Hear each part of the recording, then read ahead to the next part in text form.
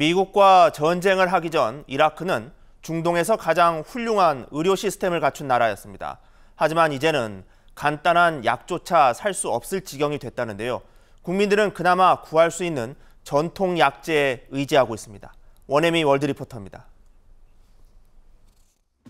약초 가게 주인이 분쇄기에 허브를 넣습니다.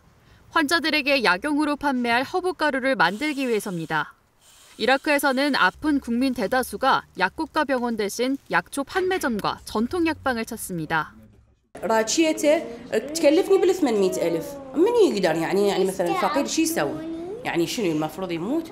فيلتجئ للاعشاب الاعشاب ارخص يعني الصيدليات كارثه يعني يعني هنا واحد همين الفقير هم يلتجئ للاعشاب همين من ناحيه الموت 약국마다 동일 약품 가격이 천차만별인데다 엄청난 의약품 비용에 병원은 물론 약국을 찾는 것이 사치가 돼버린 지 오래.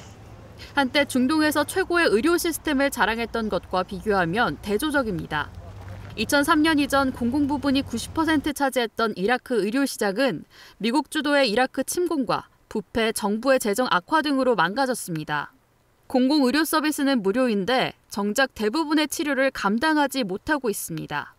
반면 허가받은 약초 판매점은 2020년부터 현재까지 350개에서 460개로 늘어났습니다. 전문가들은 우후죽순격으로 생긴 다수 약방의 전문성에 의문을 제기합니다. مهنة الأعشاب والنباتات الطبية يعني في مجتمعنا بس ما مدروسة ما ما درسوها بشكل علمي أو بشكل 최근에는 관련 규정 위반으로 10개 지점이 폐쇄됐습니다.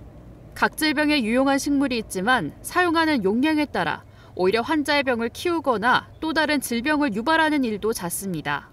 يعني انا واحد من الاشياء اللي شفتها مره يعني طبيب مال منطينا مريض مال سكر منطينا دواء مال يعني واصل الى مرحله احنا نسميها 결국 공공 의료 시스템을 재건하는 것이 해법이지만 아직 그에 대한 어떤 계획이나 희망은 보이지 않고 있습니다.